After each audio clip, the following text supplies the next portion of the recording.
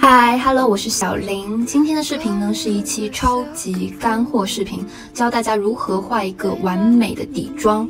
有时候呢，我们底妆远看是还不错，可是近看就是惨不忍睹。所以这期视频我会非常详细的用超级近的镜头给你们讲解一下，怎么画一个好的底妆。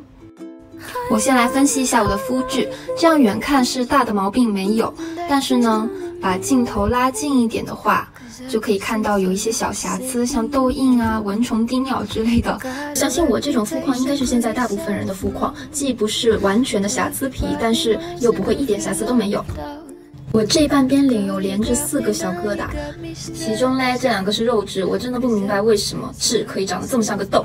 接着呢，连着两个是前几天被蚊子咬下的痕迹。首先，完美底妆的第一步一定是做好妆前保湿。我会在妆前先敷一片面膜，我会选择这种纯补水的面膜，就是八块钱或者十块钱一片，除了补水没有其他软用的面膜就够了。平价面膜用在妆前做保湿非常合适，这样后续的底妆呢绝对会服帖很多。而且妆前贴面膜的时间也不宜过长，大概是五到十分钟就可以撕下来了，千万不要等面膜干了之后再撕下来。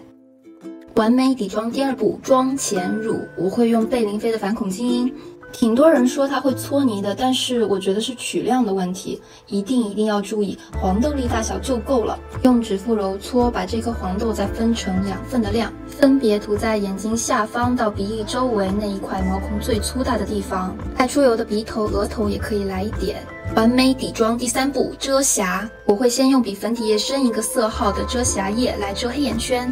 这种深色遮瑕比浅色遮瑕效果要好很多，但是一定要用在底妆前。我会用海绵蛋嘞把它铺开，虽然粉底液没有粉底膏遮瑕效果好，但是用在眼下是最合适的。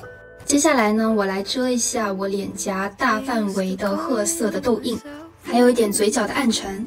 这个时候呢，我们需要用到颜色修正类型的遮瑕膏，我会配合娇兰的地黄蜂姿修复原蜜，不然会有点干。用亮黄色提亮一下嘴角的部分，再用紫色遮盖一下脸颊处的深褐色痘印。圈一下重点，像这种大范围的或者需要颜色修正的，都应该是要放在底妆前。底妆后的遮瑕呢，只是再次遮去一些残存下来的瑕疵而已。上妆工具非常重要，我喜欢用这种浸湿之后完全拧干的海绵蛋，我觉得上妆效果是最好的。先挤这样一管粉底液在手上就够了。我会先用手指把它点开之后呢，再平铺在脸上。以前我画底妆就喜欢一坨一坨的往脸上点，但是后来我发现，有的时候有些地方会点多了，有些地方会点少了点多的地方呢，就造成了假面卡粉；点少的地方又遮不住。所以我现在会先用指腹把粉底液平铺在脸上，之后呢，再用海绵蛋按压。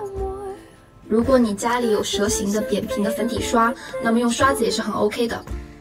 用海绵蛋反复的拍打按压，让底妆跟皮肤更好的融合到一起去。